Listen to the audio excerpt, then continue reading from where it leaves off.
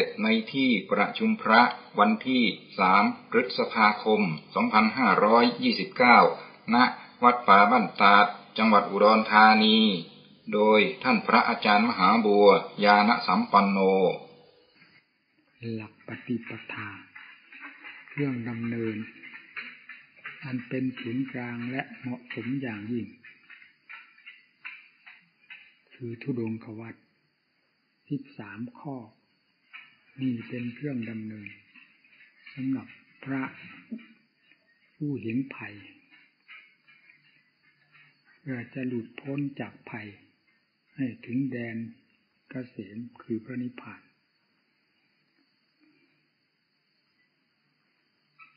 ส่วนประกอบภายในจิต อารมณ์ของจิต เครื่องดำเนินของจิต ได้แก่กรรมฐานสี่สิบห้อง ดังที่ท่านแสดงไว้ จะเป็นบทใดก็ตามในกรรมฐานสี่สิบห้องนั้น ที่เห็นว่าเหมาะสมกับจริตนิสัยของผู้ปฏิบัติเป็นรายรายไป ย่อมยึด เอาทำบทนั้น ๆ ที่ตนชอบ เข้ามากำกับใจ ที่เรียกว่าบริกรรมภาวนาดังอนุสติสิบนี้มีพุทโธธรรมโม สังโฆเป็นต้น อยู่ในอนุสติสิบนี้ เราจะเอาบทใด หรืออนาปานสตินี่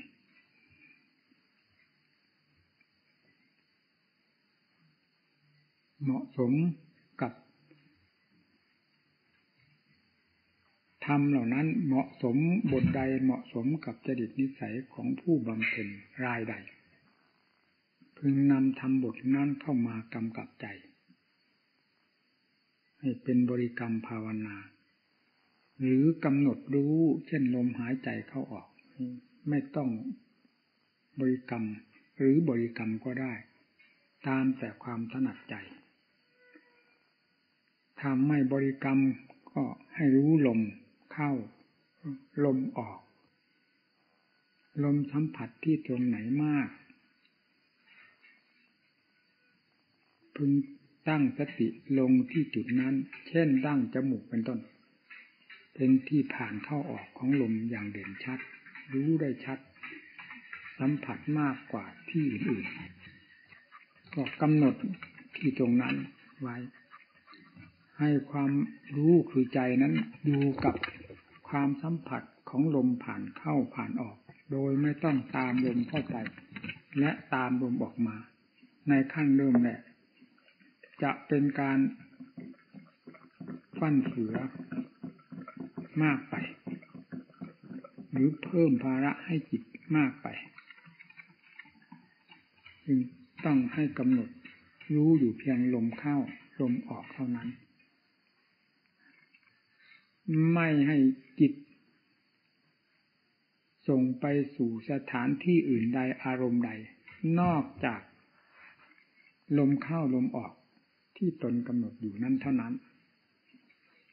เราจะบริกรรมทำบทใดก็ตาม ให้พึงทำความรู้สึกอยู่กับทำบทนั้น ๆ เท่านั้น ประหนึ่งว่าโลกนี้ไม่มีอันใด ในเวลานั้น มีเฉพาะคำบริกรรมกับความรู้ที่สัมผัสสัมพันธ์กันอยู่นี้เท่านั้น ท่านเรียกว่าภาวนาที่ถูกต้องเหมาะสม ในธรรมที่กล่าวมาเหล่าที่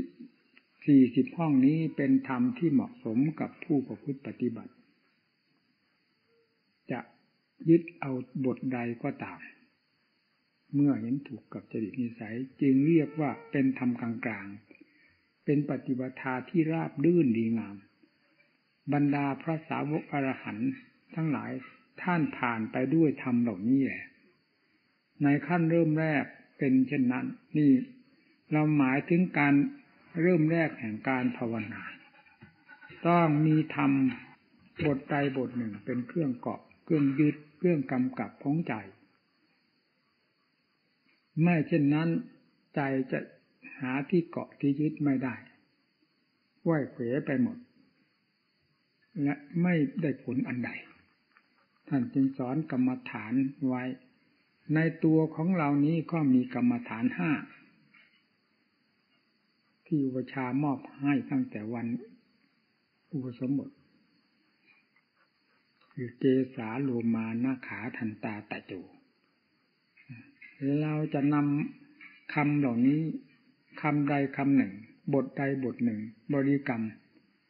เช่นเดียวกับธรรมทั้งหลายที่กล่าวมาสักครู่นี้ก็ได้ไม่มีอะไรขัดข้อง เพราะเป็นธรรม เป็นกรรมฐานด้วยกัน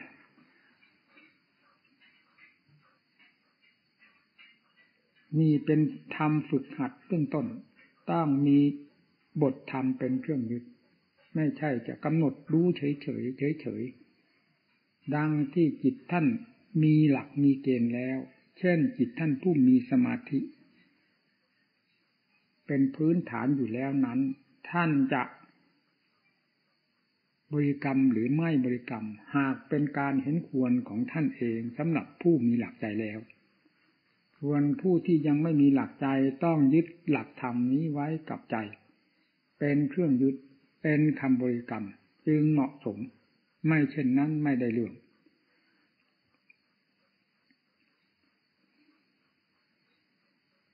ผู้ปฏิบัติทั้งหลายพึงกำหนดธรรมเหล่านี้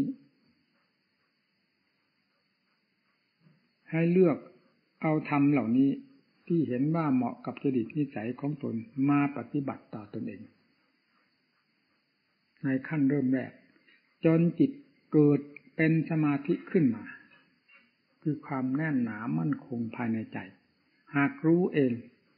เมื่อจิตสงบลงไป สงบลงไปหลายครั้งหลายหน จิตจะสร้างฐานแห่งความมั่นคงขึ้นภายในตัวเอง ความสงบเป็นครั้งเป็นคราวและถอนขึ้นมานี้ท่านเรียกว่าจิตรวมหรือจิตสงบ เมื่อจิตมีการถอนมีการสงบเข้าไปและถอนออกมา สงบตัวเข้าไปแล้วขยายตัวออกมา หลายครั้งละอย่างนี้ท่านเรียกว่าจิตสงบ เมื่อจิตสงบหลายครั้งหลายหน ในแต่ละครั้งละหนของจิตที่สงบนั้น ย่อมสร้างฐานแห่งความแน่นหนามั่นคงขึ้นภายในตัวเอง โดยลำดับลำดา เมื่อนานเข้าก็กลายเป็นสมาธิขึ้นมา คือเป็นจิตที่มั่นคง เป็นจิตที่แน่นหนากำหนดดูเมื่อไรก็รู้ได้ชัด ว่านี่คือจุดแห่งความรู้ นี่คือจุดแห่งจิต อันเป็นความสงบประจำตัว นี่เรียกว่าจิตเป็นสมาธิไม่ใช่รวมลงไปแล้วเป็นสมาธิเป็นสมาธิแล้วเราจะเรียกว่าสมาธิในขณะที่จิตรวมก็ได้ แต่ที่ให้แน่ที่สุดก็คือจิตรวมตัวเข้าไปหลายครั้งหลายหน นถึงกับสร้างฐานของตนให้เกิดความมั่นคงขึ้นมา แม้จะคิดอ่านไตรตรองอะไรได้อยู่ก็ตาม แต่ฐานของจิตที่แน่นหนามั่นคงนั้นไม่ละตัวเอง นั่นจะเป็นความที่เหมาะสมอย่างยิ่ง ในคำว่าจิตเป็นสมาธิ เพราะเป็นอย่างนั้นจริง ๆ ในวงผู้ปฏิบัติ จะทราบได้ชัด ไม่ต้องไปถามใครเลย ขอแต่จิตได้สงบเข้าไปดังที่กล่าวนี้เถอะ เมื่อสงบเข้าไปสงบเข้าไป ถอนออกมาสงบเข้าไปหลายครั้งหลายหนหลายวันหลายคืนเข้าไป หากเป็นความแน่นหนามันคงขึ้นภายในจิตเอง นั่นท่านเรียกว่าจิตเป็นสมาธิแล้วจิตเป็นสมาธิย่อมมีความเย็น ย่อมมีความสงบตัว ไม่หิวโหยในอารมณ์ต่างๆ ไม่ว่าจะอารมณ์ทางใด รูปเสียงกลิ่นรสเครื่องสัมผัสเฉพาะอย่างยิ่งการอารมณ์เป็นสำคัญสำหรับนักบวช อันนี้เป็นค่าสึกมากภายในจิตใจ และชอบมากคิดมาก ชอบคิดมาก คิดได้อย่างรวดเร็ว แต่หักห้ามได้ยาก เหล่านี้เมื่อจิต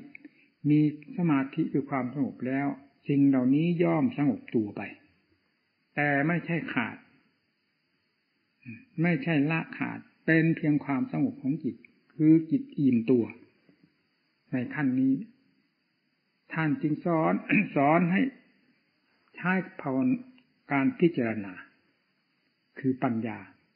ปัญญานั้นหมายถึงการถอดการถอนการคลี่คลายดูสิ่งต่างๆ ให้เห็นตามความเป็นจริง แล้วละแล้วถอนไปโดยลำดับลำดาตั้งแต่กิเลสขั้นหยาบๆจนกระทั่งถึงขั้นละเอียดสุด หลุดพ้นท่านเรียกว่าปัญญาทั้งนั้น แต่เป็นขั้นๆของปัญญา สมาธิเป็นเพียงทำจิตให้สงบ เพื่อจะได้พิจารณาง่ายลงไป ผิดกับจิต ผิดกับการพิจารณา ทั้งที่จิตหาพื้นฐานแห่งความสงบไม่ได้อยู่เป็นอันมาก เพราะฉะนั้นพระพุทธเจ้าท่านจึงสอนให้บำเพ็ญทางสมาธิ ท่านเรียกว่า สมาธิอบรมปัญญา ดังที่กล่าวไว้ในอนุสาส สมาธิปริภาวิตาปัญญามหาพลาโหติมหานิสร้างสร้างสมาสมาธิเป็นเครื่องหนุนปัญญาให้พิจารณาสิ่งทั้งหลาย รู้ได้แจ่มแจ้งชัดเจนโดยลำดับลำดา ปัญญาปริภาวิตังจิตตังสัมมะเดวะ อาสเวหิมุจติ ปัญญาเมื่อสมาธิได้อบรมแล้ว ย่อมมีความคล่องตัวคือได้รับการอบรมได้รับความหนุนมาจากสมาธิ แล้วย่อมมีความคล่องตัว ในการพิจารณา แยกแยะอารมณ์ต่างๆ จนถึงกับตัดขาดได้ได้หลุดพ้นจากกิเลสทั้งปวงโดยชอบนั่นท่านว่าสัมมาเดวะอาสเวหิมุจติ คือหลุดพ้นจากกิเลสทั้งปวงโดยชอบ นี่หลักธรรมที่ท่านแสดงเป็นพื้นเป็นฐานอันตายตัวไว้ เป็นจุดศูนย์กลางโดยแท้จริง ท่านจึงสอนให้อบรมสมาธิ เพื่อเป็นบาทเป็นฐานเพื่อจิตได้มีความสงบตัว มีความอิ่มตัวในอารมณ์ทั้งหลาย อยู่ด้วยความสงบเย็นใจ เมื่อจิตมีความสงบเย็นใจแล้วย่อม พาพิจารณาอะไรเป็นการเป็นงานได้ ดีกว่า การใช้ให้จิตพิจารณาทั้งที่จิตหาความเป็นสมาธิไม่ได้ และกำลังหิวหูในอารมณ์เป็นไหนไหนการพิจารณาจิตในเวลตามที่การพิจารณาจิตที่หาความที่ไม่เคยมีความสงบเลย ให้เป็นปัญญา มักจะเป็นสัญญาทะเลทลายออกนอกรูนอกทาง อยู่เสมอเสมอ ไม่ค่อยจะได้เรื่องได้ราวอะไร จนถึงกับว่าไม่ได้เรื่อง ท่านจึงเอา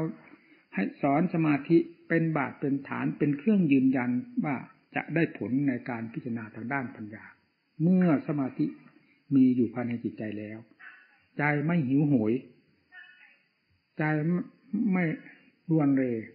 ใจไม่กระวนกระวาย ย่อมทำหน้าที่การงานของตนไปโดยลำดับลำดา ตามสติที่บังคับให้ให้ทำจนถึงกับได้ปรากฏผลขึ้นมา เป็นปัญญาโดยลำดับลำดา จนถึงขั้นปัญญาที่เห็นเหตุเห็นผลแล้ว และหมุนตัวไปเอง โดยไม่ต้องถูกบังคับ เหมือนตั้งแต่ก่อนที่เคยบังคับกันนั่นเลยนะนี่เป็นอย่างนี้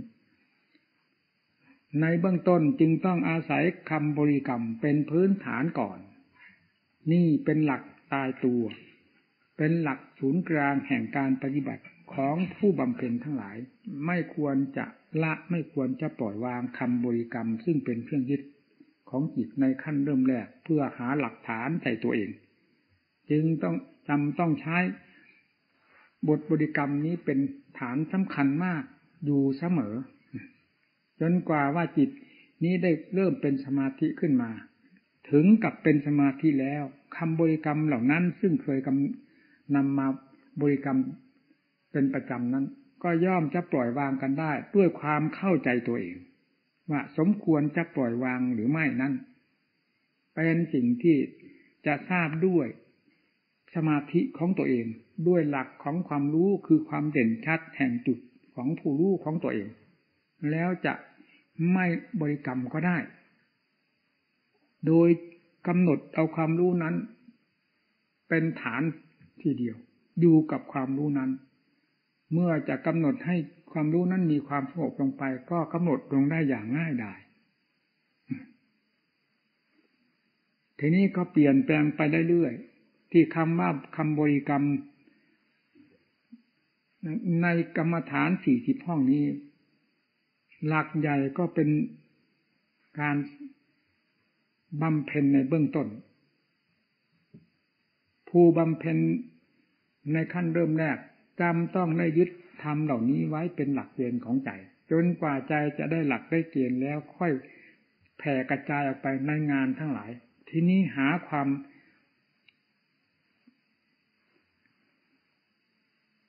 เป็นประมาณไม่ได้ เมื่อจิตได้เป็นสมาธิแล้ว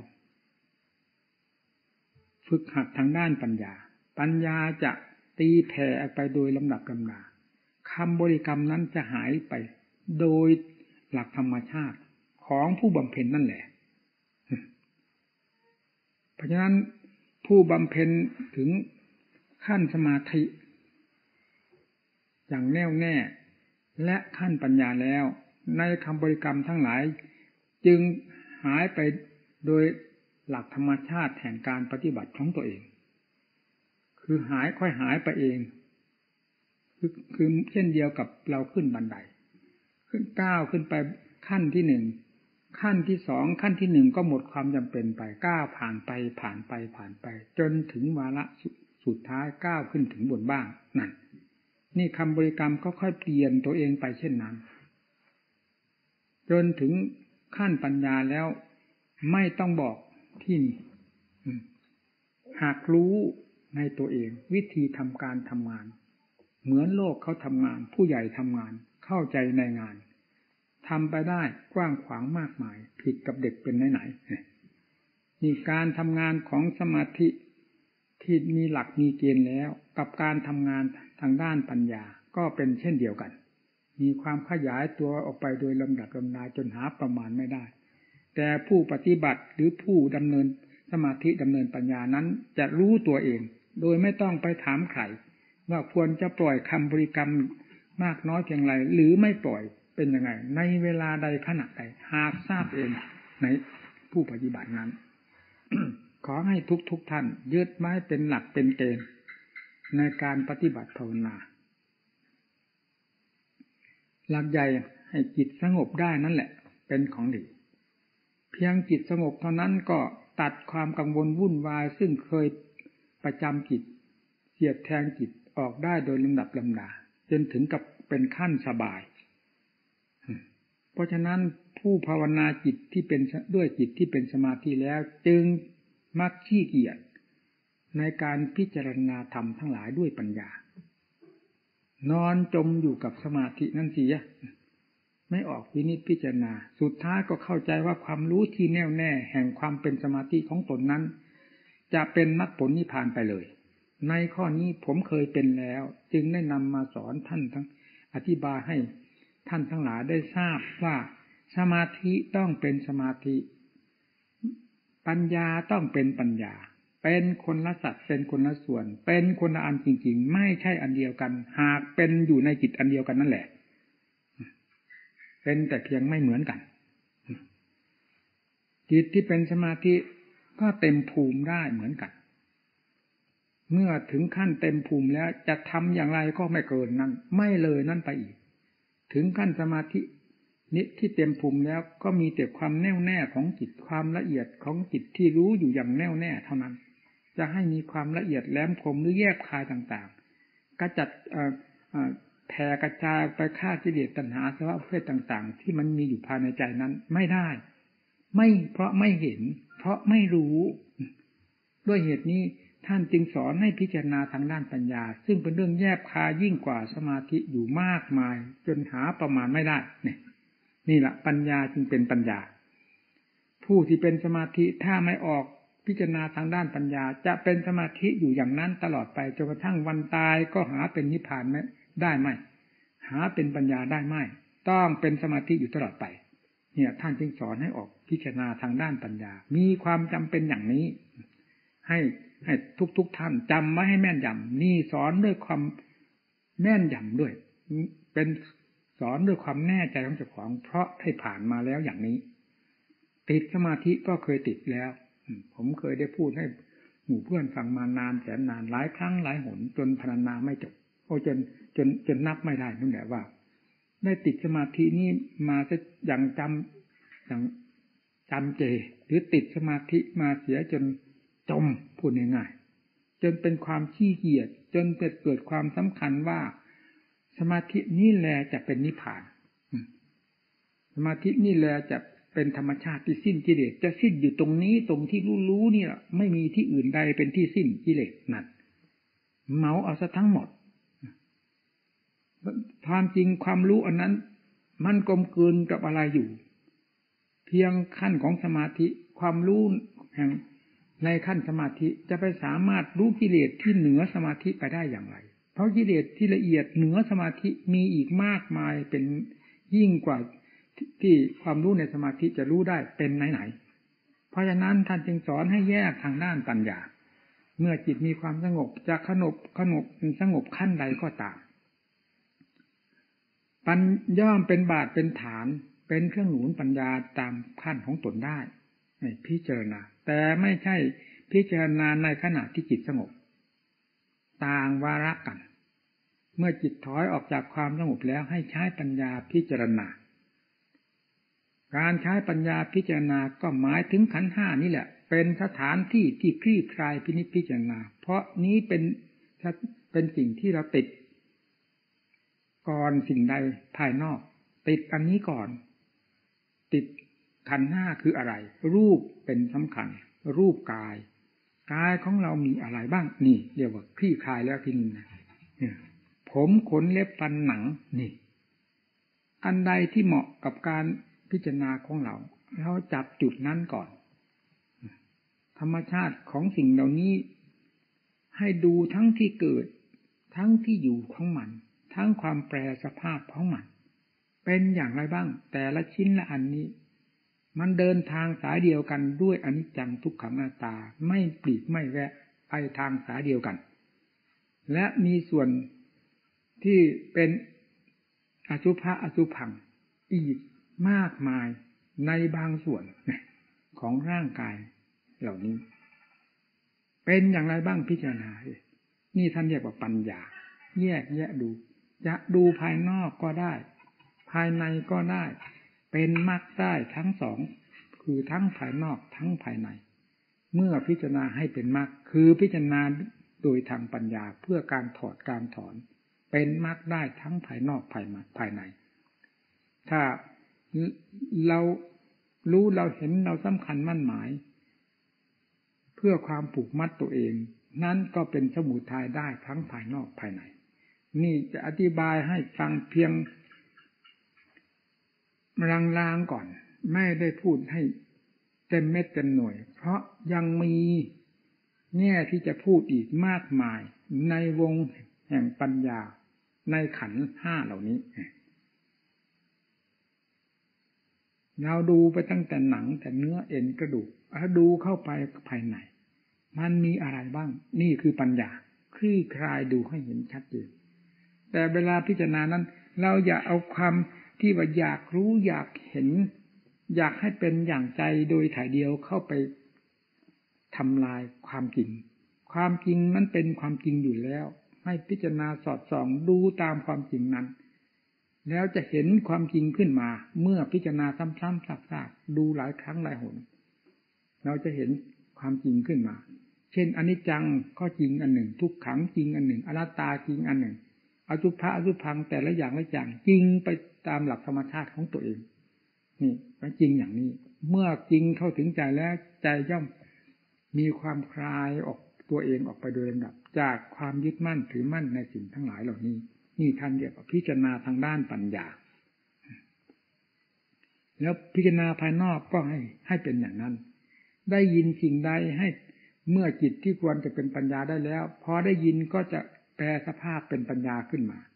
ได้เห็นก็จะแปลสภาพเป็นปัญญาขึ้นมา ในขณะที่ได้เห็นได้ยินได้ฟังสัมผัสสัมพันธ์กับสิ่งต่างๆ จะเป็นเรื่องปัญญาขึ้นมาขึ้นมาขึ้นมา เช่นเดียวกับมันเคยสร้างเรื่องกิเลสขึ้นมา ในขณะที่ได้เห็นได้ยินได้ฟังแต่ก่อนนั่นแหละ ไม่ผิดกันอะไรเลย เมื่อถึงขั้นปัญญาจะทราบจะรู้เป็นอย่างนั้น นี่แหละวิธีการดำเนิน ให้ยึดหลักที่กล่าวมานี้เป็นทางดำเนิน อย่าหาเรื่องหาราวใส่ตัวแฝงแฝงเรื่องนั้นแฝงแฝงเรื่องนี้ไป มันไม่ถูกหลักใหญ่อยู่ตรงนี้แหละให้ยึดเอาครูบาอาจารย์ทั้งหลายก็ดี หรือนับตั้งแต่ พระสาวกทั้งหลายลงมาก็ดี ท่านหลุดพ้นด้วยอำนาจแห่งกรรมฐานสี่สิบนี้ ทั้งนั้นเนี่ย กรรมฐานสี่สิบนี่แหละเป็นฐานเป็นธรรมที่สร้างจิตท่านให้มีความสงบร่มเย็น ต่อจากนั้นไปก็สร้างทางด้านปัญญา ให้รู้แจ้งแทงทะลุไป ไม่พ้นจากที่กรรมฐานที่กล่าวมาเหล่านี้เลย เพราะกรรมฐานสี่สิบนี้ไม่ใช่จะเป็นอารมณ์แห่งสมถะอย่างเดียว ยังเป็นอารมณ์ของวิปัสสนาได้ด้วย เมื่อจิตควรเจวิปัสสนาแล้วจะเป็นวิปัสสนาไปได้โดยไม่ต้องสงสัย ในขณะที่จิตยังไม่เป็นปัญญา จิตยังไม่เป็นวิปัสสนา ก็เอาทำเหล่านี้เลยมาอบรมจิตใจด้วยความเป็นสมถะ คือเพื่อความเป็นสมถะได้แก่ความสงบของใจ พอจิตก้าวเข้าสู่ปัญญาแล้วทำที่เคยเป็นสงบเป็นอารมณ์แห่งสมถะนี่แหละจะแปลสภาพเป็นอารมณ์แห่งนิพพานาไปได้โดยไม่ต้องสงสัยนี่หลักใหญ่อยู่ตรงนี้ เมื่อการพิจารณาทางด้านปัญญาเกี่ยวกับขันนอกขันในพิจารณาอยู่โดยสม่ำเสมอดังที่กล่าวนี้ ความรู้แจ้งภายในจิตใจ จะปรากฏขึ้นโดยลำดับลำดา จะไม่มีโดยไม่มีใครบอก ไม่มีใครสอน สิ่งไม่เคยรู้จะรู้ขึ้นมา สิ่งที่ไม่เคยละก็จะละ สิ่งที่เคยติดแนบภายในจิตใจของเรา จนไม่คาดไม่ฝันว่าจะแก้จะแยกจะแยกจะตัดกันออกได้ให้ขาด ก็เป็นขึ้นมาให้เห็นอย่างชัดเจนภายในใจด้วยอำนาจของปัญญานั่นแหละ เพราะฉะนั้นปัญญาจึงเป็นธรรมชาติที่แหลมคมมากกว่าสมาธิเป็นไหนๆถ้าเรายังไม่เคยกล้าทางด้านปัญญา มีแต่เพียงสมาธิก็จะเห็นว่าสมาธินี่เป็นความละเอียดมาก เพราะจิตที่เป็นสมาธิเต็มภูมิต้องสร้างความละเอียดให้ผู้ยังไม่เคยรู้ก็เห็นทางด้านปัญญา ว่าตัวนี้เป็นผู้ละเอียดแหลมคมมาก ละเอียดมากได้จริง ๆ โดยไม่ต้องสงสัย แต่พอก้าวออกทางด้านปัญญาแล้ว จะเห็นสมาธินี้ มันเหมือนกับเราไปเจอที่เดินทางไปเจอตะกั่วที่แรกเขาว่าเป็นของดีพอไปเจอเงินเขาก็ทิ้งตะกั่วพอไปเจอทองเข้าทิ้งเงินแบบนั้นแหละ เรื่องเราผ่านสมาธิเป็นขั้นขั้นขึ้นไปหาปัญญาเป็นขั้นขั้นจนกระทั่งถึงวิมุตติหลุดพ้นเป็นเช่นเดียวกันกับ เราปล่อยวางสิ่งนั้นสิ่งนั้นก้าวไปผ่านไปโดยลำดับลำดา นั่นเอง ดังที่กล่าวมานี้ไม่ผิดหากเป็นไปในหลักธรรมชาติของจิต นั่นแหละความละเอียดของปัญญาเป็นเช่นนั้นนี่ธรรมชาติอันหนึ่งที่มันแทรกที่มัน เหมือนกับว่าเป็นอันหนึ่งอันเดียวกันกับจิตนั้น มันอยู่ที่จิต เพียงสมาธิจะไม่มีโอกาส ไม่มีทางทราบได้เลยจะกลืนกันทั้งเนื้อทั้งกระดูกทั้งก้างนั่นแหละ ถ้าเป็นอาหารก็ดี แล้วก็จะติดคอตายอยู่นั้น ไม่ไปถึงไหน ถ้าไม่ใช่ถ้าไม่ใช้ความพินิจพิจารณาคลี่คลายออกโดยทางปัญญาแล้ว เราจะไม่ทราบความละเอียดของกิเลสประเภทที่ฝังจมอยู่ภายในจิตใจ แล้วก็แผ่ทังพานออกไป ทางเวทนา ทางรูปทางเวทนาสัญญาสังขารนะตั้งสิวิญญาณแผ่พังพานออกไปนูน่น รูปเสียงกลิ่นรสเครื่องสัมผัส ทั่วแดนโลกธาตุไปเที่ยวยึดได้หมดออกจากธรรมชาติที่ละเอียดที่สุดของกิเลสประเภทหนึ่งภายในจิตใจนั่นแหละ นี่แหละมันสร้างเรื่องราวขึ้นมา ภายในตัวและแผ่อำนาจศาสตร์กระจายไปทั่วโลกธาตุทั้งสามกามมาโลก รูปประโลกอรูปประโลก ถ้าไม่ใช่จิตดวงนี้ไปเกิด ดวงไหนจะไปเกิด อะไรจะไปเกิด อืสิ่งที่ละเอียด ที่สุดพวกพรหมโลกอย่างนี้เหมือนกัน อะไรจะไปเกิดมีแต่จิตทั้งนั้นไปเกิด เพราะธรรมชาติที่แฝงอยู่ภายในจิตนั้นผลักดันให้เป็นไปเองให้ไปเกิดนี่ นี่แหละปัญญาเมื่อสร้างเข้าไปมันเห็นเข้าไปอย่างนี้เอง เห็นเข้าไปชัดเข้าไปชัดเข้าไป ไม่ต้องไปถามใครนั่นละผู้ปฏิบัติไม่อัศจรรย์พระเจ้าจะอัศจรรย์ใครเพียงเหล่านี้พระเจ้าสอนแล้วทั้งนั้น เมื่อปัญญาอย่างเข้าไปอย่างเข้าไปแล้วจะเห็นความละเอียด ของทั้งกิเลสของทั้งปัญญาไปพร้อมๆกัน แล้วเมื่อได้เห็นชัดทั้งสิ่งที่ยึดมั่นถือมั่น ทั้งตัวผู้ยึดมั่นถือมั่นแล้ว ว่าเป็นภัยด้วยกันทำไมจะไม่ถอดไม่ถอนทำไมจะไม่สลัดปัดทิ้งลงได้ล่ะ ต้องปัดทิ้งได้โดยไม่ต้องสงสัย ปัญญานี่แหละพาให้สลัดได้ ปัดทิ้งได้ เพราะเห็นด้วยปัญญา ท่านกล่าวไว้เป็นบทบาลีว่านัตติปัญญาสมาอาภา ความสว่างกระจ่างแจ้งเสมอด้วยปัญญาไม่มีนั่นจะสว่างกระจ่างแจ้งที่ไหนเล่าปัญญา ต้องสว่างกระจ่างแจ้งลงในจุดที่มืดที่ดำที่เคยเกิดเคยตาย นั่นแหละ ได้จะดวงใจของตัวเอง นี่ มันมืดที่ตรงนี้ ไม่ใช่มืดที่ไหน มันหลงที่ตรงนี้ ไม่หลงที่ไหน ตัวนี้พาให้เกิดตัวนี้พาให้ตาย พบใดแดนใดก็ตาม ไม่พ้นจากจิตดวงนี้แหละเป็นผู้พาให้ไปเกิด แก่เจ็บตายอยู่ในทุกแห่งทุกหนในพบน้อยพบใหญ่พบนั้นพบนี้ไม่มีสิ้นสุด ก็เพราะธรรมชาติที่ละเอียดแหลมคมมากอยู่กลืนกันอยู่กลมกลืนกันอยู่กับจิตนั้น ดวงนั้นนั่นทีนี้เมื่อปัญญาได้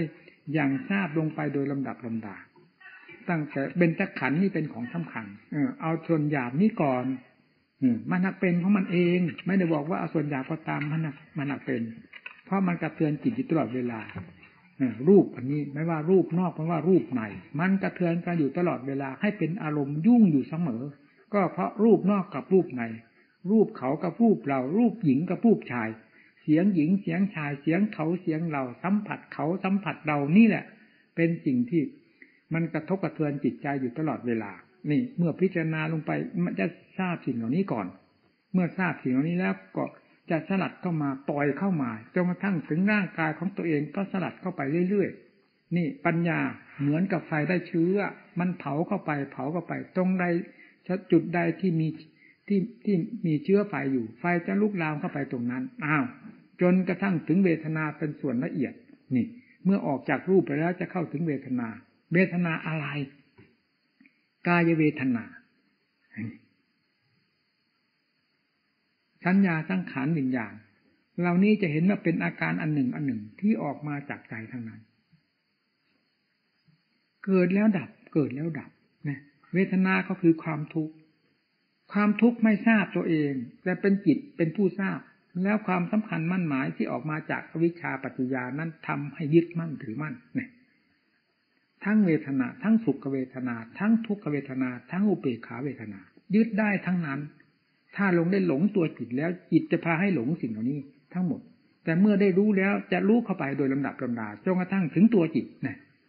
เวทนา ก็รู้ รู้ก็ปล่อยสัญญาสังขารวิญญาณรู้ปล่อยนั่น ไม่มีใครบอกหากรู้เองนี่แหละเรียกว่าปัญญา ปัญญาฉลาดอย่างนั้นเองแหลมคมอย่างนั้นเอง รู้ชัด รู้ชัดรู้ชัดไม่มีใครมาบอก ก็รู้เองรู้เอง แล้วปล่อยเข้าไปปล่อยเข้าไป สุดท้ายก็ขาดสะบั้นไปทั้งทั้งที่ขันกับจิตเนี่ยอยู่ด้วยกัน ครองกันอยู่นะรูปเวทนาสัญญาสังขารวิญญาณ ซึ่งเคยเป็นหนึ่งอันเดียวกันกับจิต ได้กลายเป็นคนละชิ้นละอันแล้วจิตตรงนั้นเป็นเหมือนกับเกาะอันหนึ่งที่อยู่ในถ้ำกลางมหาสมุทรได้แก่รูปเวทนาสัญญาสังขารวิญญาณ อันเป็นน้ำเวลาพิจารณาเข้าไปอีกพิจารณาเข้าไป จนกระทั่งถึงตัวจิตเป็นซึ่งเป็นเกาะนั้น แยกพิจารณาอย่างนั้น เช่นเดียวกับเราพิจารณาภายนอก มีรูปประขันเป็นต้น โดยทางอนิจจังทุกขังหน้าตา แยกเข้าไป แยกเข้าไปพิจารณาเข้าไป สุดท้ายเกาะนั้นก็พังทลาย ความจริงนั่นเกาะคืออะไร นั่นแหละตัวกิเลส ตัวอวิชชา ตัวที่ที่ละเอียดแหลมคมที่สุด สมาธิเข้าถึงได้ยังไง ธรรมชาตินั้นเข้าไม่ถึง แต่ปัญญาพังได้ฟังสิไม่เจอไม่เห็นพังได้ยังไง นี่แหละปัญญา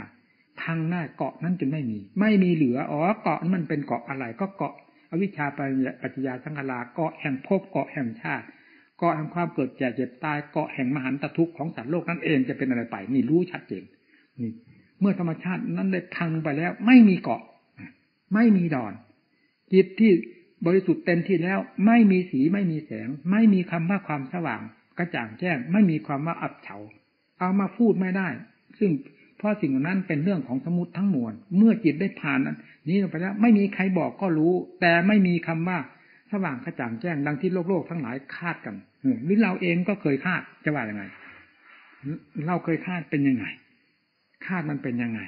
ทีนี้ความจริงกับความคาดผิดกันยังไงบ้าง เมื่อ ได้เข้าถึงความจริงแล้วไอ้ความคาดความหมาย มันก็ล้มละลายของมันไปเอง ล้มละลายไปเอง โดยหาที่โดยเข้ามาคัดค้านความจริงนี้ไม่ได้เลย นี่แหละการตัดภพตัดชาติ การสร้างปัญญาขึ้นมาเพื่อรู้ในสิ่งที่ควรรู้ในสิ่งที่ควรเห็นธรรมนัตติปัญญาสมาอาภาสว่างลงที่ตรงนี้แหละ ตรงที่มันมืดเกาะนั่นแหละ เป็นธรรมชาติอันหนึ่งให้ติดให้มองไม่ทั่วถึงก็คือเกาะอันนี้เอง เกาะแห่งอวิชชา มันเกาะอยู่ในที่จิตนั่นจิตอยู่ติดอยู่กับจิตเมื่อถูกพังทลายลงไปไม่มีเหลือแล้วลำพังโดยจิตโดยธรรมธรรมชาติของจิตแท้ๆแล้ว จะไม่เป็นเกาะจะไม่เป็นจุดสว่าง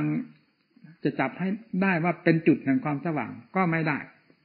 จะว่าพองใสก็ไม่ได้จะว่าเศร้าหมองก็ไม่ถูก ไม่ถูกโดยประการทั้งปวง ถ้าเป็นน้ำก็ไม่ไม่ไม่มีสี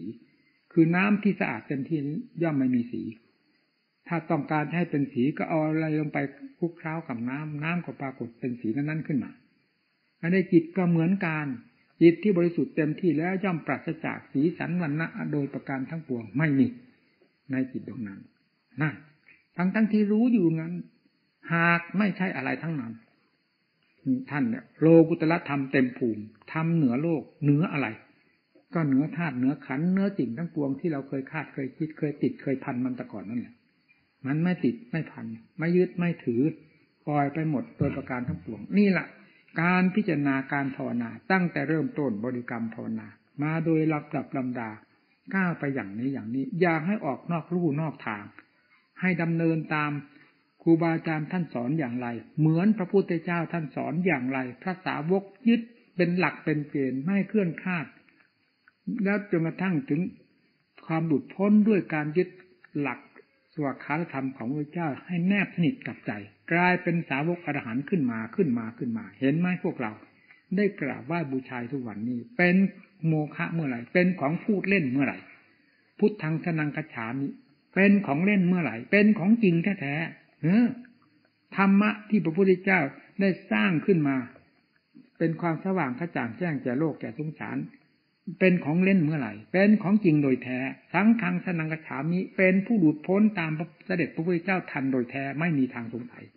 ขอให้สร้างใจของเราให้มันเป็นอย่างนั้นเถอะ เราจะยอมรับหมด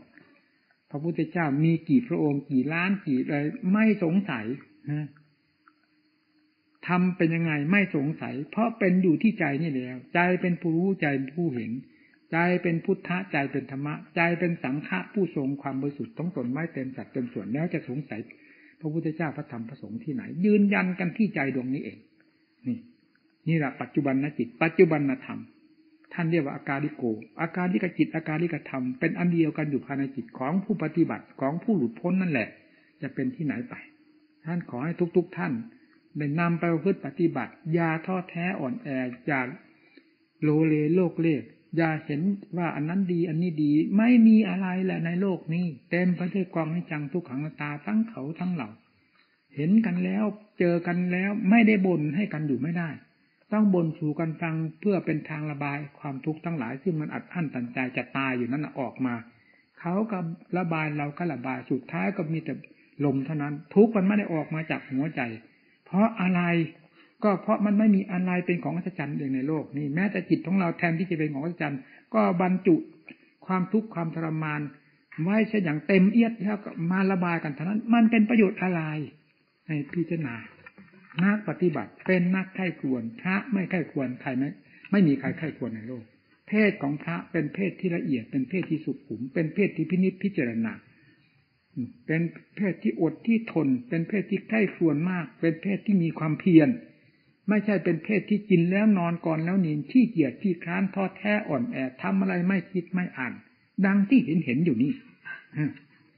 วันหนึ่งวันหนึ่งอกจะแตกการแนะนำสั่งสอนหมู่เพื่อน แล้วมองดูกิริยาอาการ มองดูอะไรมันหักโดนหูโดนตาแล้วเข้าไปโดนหัวใจอยู่จนได้ สอนเท่าไรมันก็ไม่พ้นให้นำไปพิจารณาสิคนที่เราเราที่โง่ๆอยู่นี่แหละเมื่อได้ ฝึกตัวของตัวให้เป็นไปตามหลักธรรมพระเจ้าแล้ว จะเป็นผู้ฉลาดขึ้นมาโดยไม่ต้องถามใครแล้วเอาธรรมะพระเจ้าแล้วเป็นเครื่องสองทางดำเนินลงไปดำเนินลงไป หากจะมีวันสะอาดฉลาดจนได้แหละ